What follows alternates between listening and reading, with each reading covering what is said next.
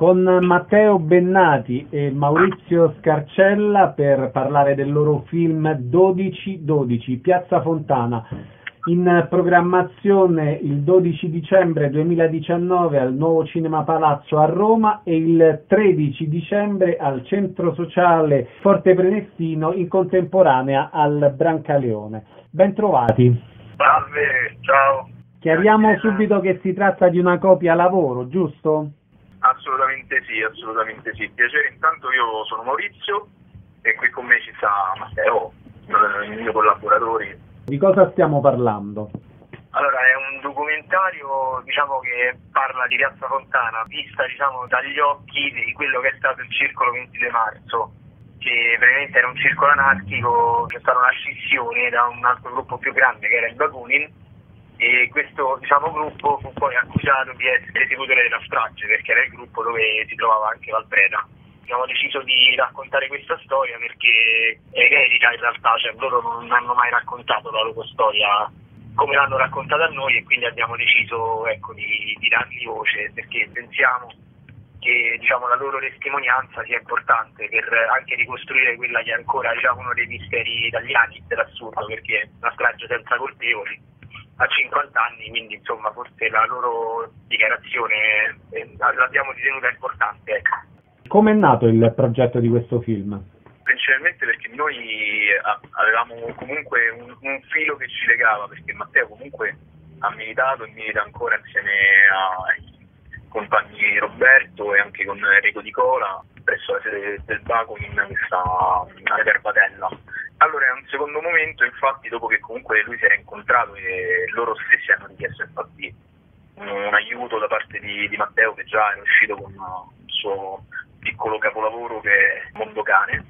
Allora ha deciso quindi di contattarmi e di mettermi in mezzo a questa, questa storia. E quindi abbiamo cominciato quindi a realizzare delle interviste all'inizio preliminari e poi a impuntarle e a strutturarle in una maniera un po' più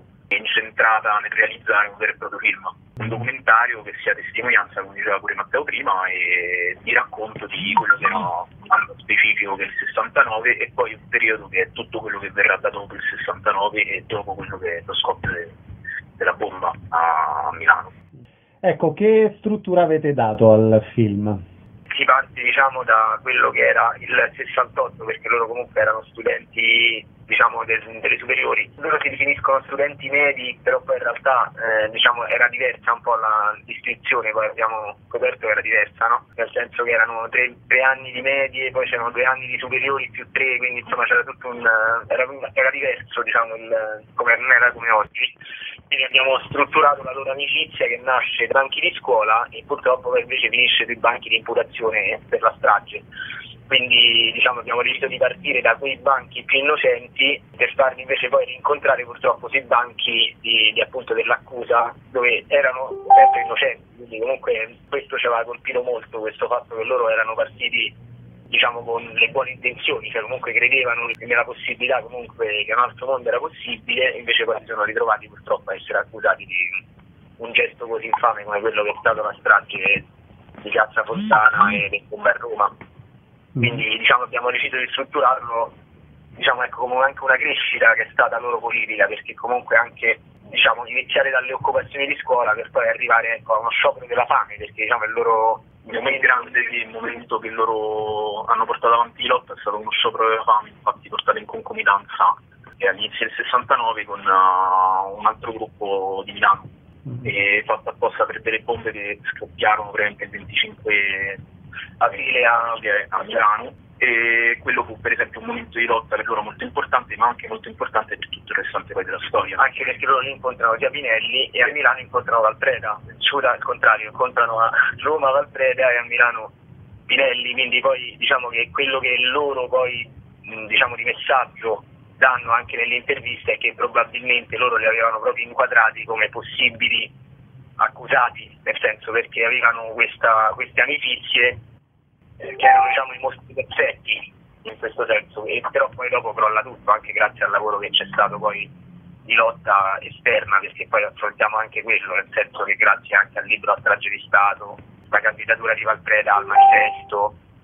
insomma loro riescono comunque a dichiarare la loro innocenza anche grazie al movimento che c'è fuori, quindi diciamo questo non l'abbiamo dimenticato, abbiamo deciso anche di appunto parlare di questo nel, nel film perché comunque ci è sembrato importante ricordare anche quanto era molto più unita probabilmente la lotta in confronto ad oggi, ecco diciamo è anche un modo di far vedere com'era in confronto ad oggi, diciamo anche perché sono passati 50 anni, quindi sono mezzo secolo, quindi sì, indubbiamente sono cambiati sia i costumi anche i metodi di lotta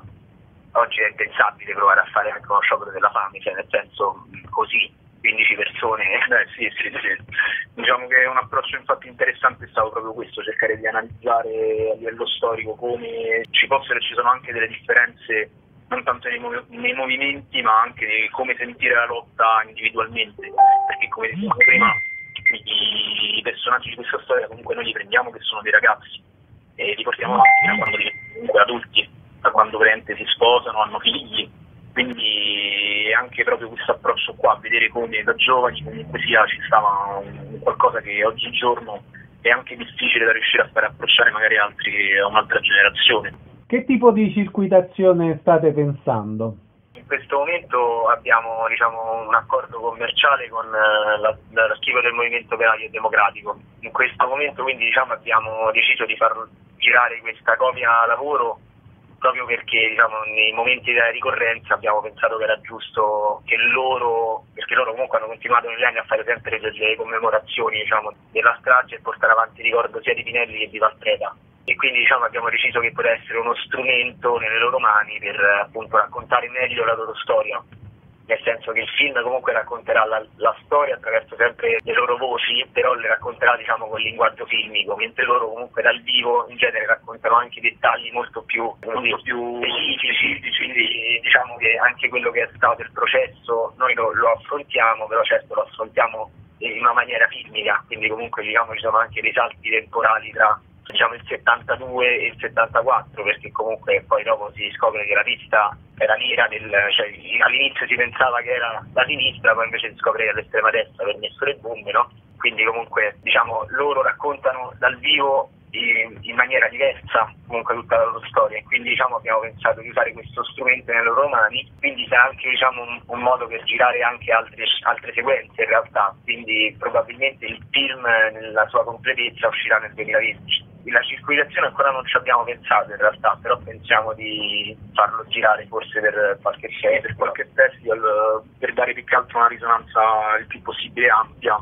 anche da un punto di vista comunque sia perfettamente cinematografico magari si può dire, principalmente però mantenendo anche quella della natura indipendente, perché questo ricordiamo e sottolineiamo che è un film totalmente indipendente fatto come noi amiamo magari definire una scarpa e una ciabatta production, quindi con tutti i dovuti limiti ma anche le libertà tecniche e stilistiche. Infatti cogliamo anche l'occasione tutti e tutte quelle che hanno lavorato diciamo, a, al film sì, sì, a, a, ringraziare soprattutto chi ci ha dato una mano no? in forma gratuita, quindi insomma è stato anche noi abbiamo lavorato in forma gratuita. Abbiamo sentito di doverlo fare e diciamo non ce ne stiamo pentendo. Eh. Assolutamente no, assolutamente no, è stata una bellissima esperienza fino adesso e speriamo di portarlo avanti infatti nelle, nelle prossime proiezioni con il pubblico. Permettere quindi, come dicevamo prima, di rapportarci anche con il pubblico durante queste proiezioni, permettendo comunque ai nostri personaggi che riprendiamo di dare modo a loro anche di, di, specificare magari dei dettagli, delle cose che sicuramente dal vivo sarà anche più interessante sentire. In chiusura ci date appunto tutti i riferimenti per saperne di più sul lavoro? Allora sì, abbiamo una pagina Facebook che si chiama 12 slash 12 trattino Piazza Fontana, comunque si trova anche perché abbiamo deciso di usare questa data che riprende il titolo di un, di un film di Pasolini in realtà, fatto con lotta continua che era 12 dicembre. Ci sembrava brutto rubare a uno dei maestri del cinema il titolo, quindi abbiamo deciso di dargli diciamo, una connotazione più, una connotazione più alla Michael Moore dicendo usando questo font 12 slash 12 come 11 settembre perché diciamo che è stata una data molto importante diciamo, nella storia d'Italia quindi abbiamo deciso di dargli questa diciamo che quello è stato il nostro 11 settembre diciamo sotto un certo punto di vista Beh, sì, sì, sì. e quindi diciamo sulla pagina Facebook eh, chiunque vuole contattarci anche per eh, proporre delle proiezioni o comunque ecco, abbiamo anche ricevuto tramite la pagina del materiale dell'epoca che se qualcuno ha delle foto da parte insomma ci fa piacere averle magari anche inserite nel montaggio. E quindi diciamo sì, questa è, è, la pagina e, e, da lì diciamo, rispondiamo a tutti, quindi possiamo essere contattati lì. Proiezione della copia lavoro del film 1212 Piazza Fontana. Il 12 dicembre 2019 al Nuovo Cinema Palazzo a Roma e il giorno dopo, il 13, in contemporanea sia al centro sociale Forte Brenezzino che al Brancaleone. Un saluto e un ringraziamento ai registi Matteo Bennati e Maurizio Scarcella. Un abbraccio, un in bocca al lupo, a risentirci presto. Grazie, a voi, a voi.